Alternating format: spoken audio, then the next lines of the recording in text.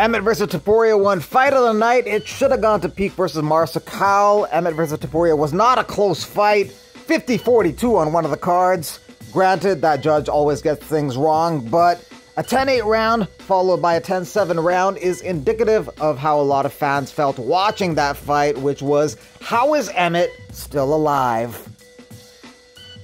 When you order Adesanya on Wish, David Onama won a performance bonus. Maycee Barber won a performance bonus. Justin Tafa thinks he should get his win bonus. He thinks that no contest should be a DQ win. Elon doesn't know the status of his fight with Zuckerberg. Elon, I'm a huge fan of yours. It'd be an absolute honor to help you to be a training partner for the challenge against Zuckerberg. And next UFC is Saturday. Strickland, Magomedov, Ismagulov, Dawson, Griffin, Morales, Lipsky, Gato, Bonfim, Denny, Ferreira, Ruzabov.